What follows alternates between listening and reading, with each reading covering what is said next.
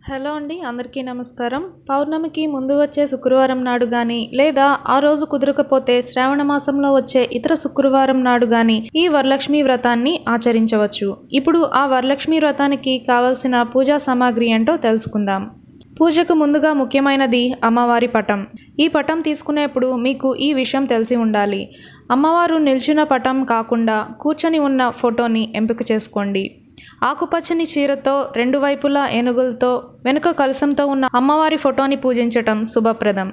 తర్వాత రాగి లేదా వెండి కలసం తీసుకోవాలి. పూజ కోసం ఈ రెండిట్లో ఏదో ఒకటి తీసుకోవచ్చు. ఒకటి కలసం మీద ఉంచేందుకు మరొకటి అమ్మవారికి నివేదన చేసేందుకు. తర్వాత రెండు జాకెట్ ముక్కలు.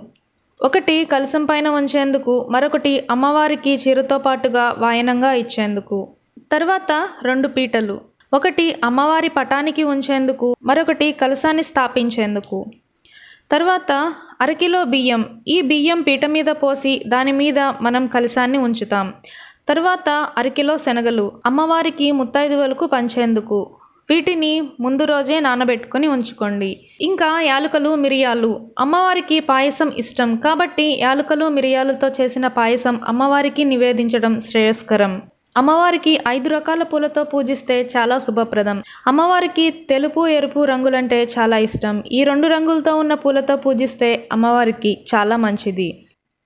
ఆ తర్వాత ముగ్గు వేయడానికి కాస్త బియ్యపిండి తీసుకోండి.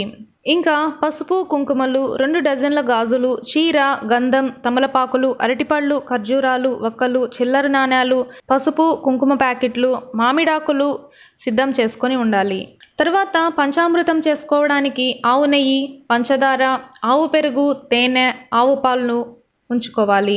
శక్తి కొలది పిండి వంటలు తయారు చేసుకోవచ్చు. తర్వాత పూజలోకి ముఖ్యంగా ఉండాల్సినవి ఒత్తులు అమ్మవారికి తామర ఒత్తులతో దీపారాధన చేయడం చాలా మంచిది. దానికోసం కుందులు పంచపాత్ర ఉద్దరిణి హారతి పళ్ళెం ముద్ద కర్పూరం అగరబత్తి గంట ఇవన్నీ పూజ కోసం ముందుగా సిద్ధం చేసుకోండి.